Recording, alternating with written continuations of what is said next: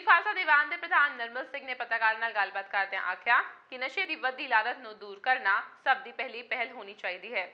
ਨੌਜਵਾਨ ਨਸ਼ਿਆਂ ਤੋਂ ਬਚਣ ਤਾਂ ਜੋ ਨਸ਼ਾ ਮੁਕਤ ਸਮਾਜ ਦੀ ਸਥਾਪਨਾ ਹੋ ਸਕੇ। ਉਹਨਾਂ ਸਰਕਾਰ ਨੂੰ ਵੀ ਅਪੀਲ ਕੀਤੀ ਕਿ ਨਸ਼ਿਆਂ ਖਿਲਾਫ ਕੜੀ ਕਾਰਵਾਈ ਕੀਤੀ ਜਾਏ।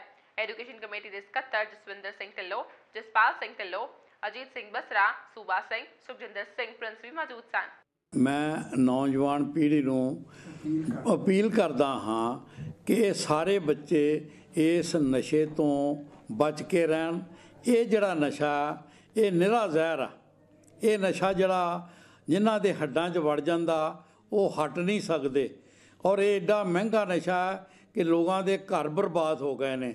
ਲੋਕਾਂ ਦੀਆਂ ਅਗਲੀਆਂ ਪੀੜ੍ਹੀਆਂ ਖਰਾਬ ਹੋ ਗਈਆਂ ਨੇ। ਲੋਕਾਂ ਦੀਆਂ ਜਾਇਦਾਦਾਂ ਵਿਕ ਗਈਆਂ ਨੇ। ਲੋਕਾਂ ਦੇ ਮਾਂ ਪਿਓ ਬੜੇ ਦੁਖੀ ਨੇ। ਜਿਹੜੇ ਵੱਡੇ ਲੋਕ ਵੀ ਇਹ ਨਸ਼ਾ ਕਰ ਰਹੇ ਨੇ ਉਹਨਾਂ ਦੀਆਂ ਜਨਾਨੀਆਂ ਰੋਂਦੀਆਂ ਨਹੀਂ, ਥੱਕਦੀਆਂ। ਬੜੀਆਂ ਪੀੜ ਮਹਿਸੂਸ ਕਰਦੀਆਂ ਕਿ ਸਾਡੀ ਸਾਰੀ ਜਾਇਦਾਦ ਵਿਕਦੀ ਜਾ ਰਹੀ ਹੈ। ਅੱਗੋਂ ਬੱਚੇ ਪੜ੍ਹਾਈ ਵੱਲ ਨਹੀਂ ਲੱਗ ਰਹੇ।